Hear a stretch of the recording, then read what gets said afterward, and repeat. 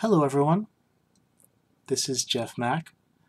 October 31st is the new year for some people following some calendars, especially if you celebrate Samhain.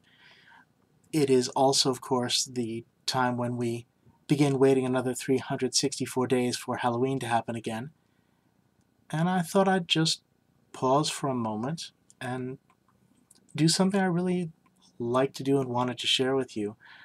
I own a lot of very old books. I get them very cheaply. I get them at garage sales, library book sales. I would say that on average I've paid probably about five cents a book. Um, I have been at book sales, bookstores, places, garage sales in particular, where they'll just press a box of books on me and honestly I'll usually accept the majority of the books and donate a few of the rest. This is from William Gibson's Distrust That Particular Flavor, William Gibson being the parental unit of Cyberpunk, the creator of the classic story Neuromancer, uh, and a fantastic essayist. I'm not going to read you the whole thing, just a little slice but this is from June 19th, 2000, and it is, Will we have computer chips in our heads?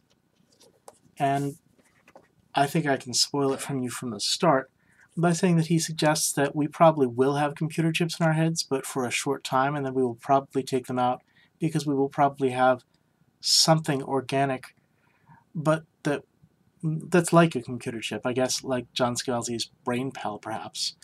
But that's not the really important bit. By the way, this is um, how young William Gibson looked at that time. If you've seen pictures of him recently, this is a very young looking William Gibson. I'm going to just read you the last bit of this piece here. There is another argument against the need to implant computing devices, be they glass or goo. It's a simple one, so simple that some have difficulty grasping it. It has to do with a certain archaic distinction that we still tend to make, a distinction between computing and the world, between, if you like, the virtual and the real. I very much doubt that our grandchildren will understand the distinction between that which is a computer and that which isn't. Or to put it another way, they will not know computers as any distinct category or function. This, I think, is the logical outcome of genuinely ubiquitous computing, the wired world.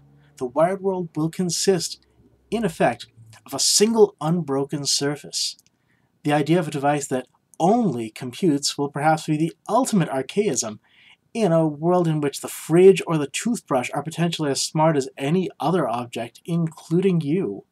A world in which intelligent objects communicate routinely and constantly with each other and with us. In this world, there will be no need for physical augmentation of the human brain, as the most significant and quite unthinkably powerful augmentation will already have taken place post-geographically via distributed computing. There's a bit more, but I said I didn't want to read too much. And I would argue, and I don't think this is a particularly difficult argument to make that he was quite right. That we pretty much see in our phones and in our smart devices that, yeah, um, pretty much everything is wired now.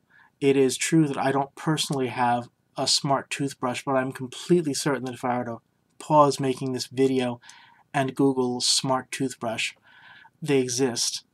Um, and probably someone out there has some really good reason why you should have smart toothbrushes. With all that said, I just wanted to talk about a thing that I haven't spoken of for rather a while, which is the fact that we live in the future. And we have extraordinary power, extraordinary knowledge, extraordinary reach at our fingertips. Um, literally, for people who use their fingers rather than anything else for phones. I guess fingertips, swiping motion counts as a fingertip, doesn't it? I would say. Yep. Literally at our fingertips, or thumb tips, probably. it's still fascinating to think about what we can do with that level of individual personal power. We have not yet begun to reach it. We have absolutely reached a point where we can see how painful, how difficult, how challenging, how loud, how angry a world can be when everyone is able to amplify their voices. Um, and we have more than a few debates about which voices ought to be amplified and if they are amplified properly, and which voices perhaps ought to be muted. And I'd like to step away from that for just a moment and remind you you have extraordinary magic power available to you. If you're able to watch this video, you're almost certainly able to access some form of modern computing and therefore do things that William Gibson thought of as science fiction, probably not just in 2000, but very likely in 2012 when he published that book. And although I can't speak to Mr. Gibson's mind, I suspect he thinks, as many of us think, that we are living in some advanced and amazing future if a deeply complex future whose own future, I guess you can say, is quite uncertain. Please keep that. I hope that you find that little teeny thought, my own small expansion from this thought by Mr. Gibson. I hope it cheers your day just a bit, gives you a moment to think about how cool it is that, um, I don't know, we're living in an age of technology which, um, minus starship travel, has computing power far beyond that imagined in the deeply outflung future of the original Star Trek. It's magnificent and strange and peculiar, and the world is an odd and interesting place. I hope you are enjoying your time in it. I am Jeff Mach, and I'll speak to you soon. as soon as I can find the off button for this video thing anyway.